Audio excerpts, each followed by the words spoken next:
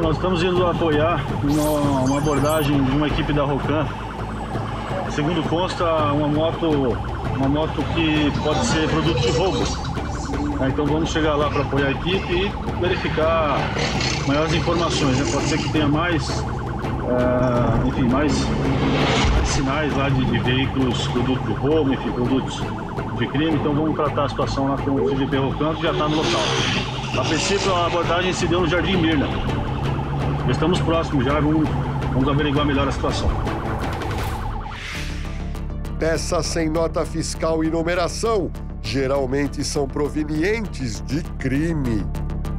Quadrilha de roubo de motos atuam em todo o país e abastecem esse mercado ilegal. A ação dos bandidos é sempre muito rápida e por vezes violenta. Nessas imagens você vê a audácia dos ladrões que efetuam o roubo em uma concessionária. O bando invade o estabelecimento e leva tudo que pode. Os meliantes fogem empurrando as motos. A equipe se aproxima do local do flagrante.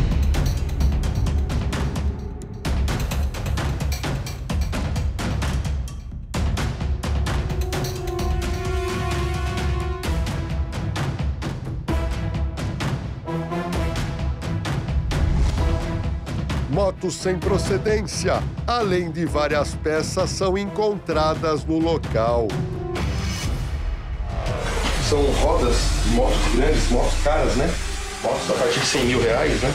Então tá faz um bom tempo. Né? É, Tanques aqui, né, sargento? E Tenente Bengala, né? Peças mais antigas, né? Tem peças que já estão, já há um bom tempo armarizadas aqui, arma- armazenadas, né?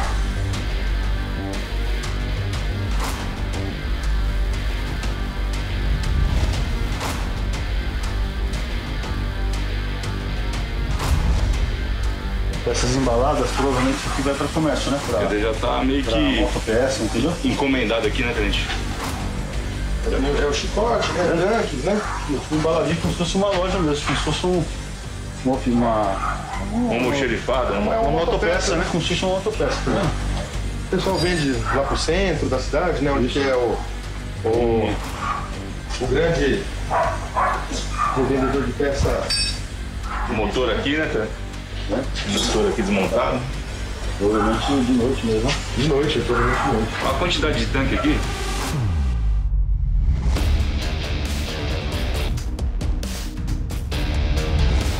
Aqui tem os modelos das motos, né? Ó, XADV 150, só essa, essa caixa. Phaser, né? Então, se o cara vem querer comprar, tem os modelos, né? MT-07, MT-07, né? Dizer, tudo bem organizado como uma autopeça, li- se fosse lista, né, sargento? Justamente. Aqui tem um F800 que custa em média aí 70, 80 mil reais.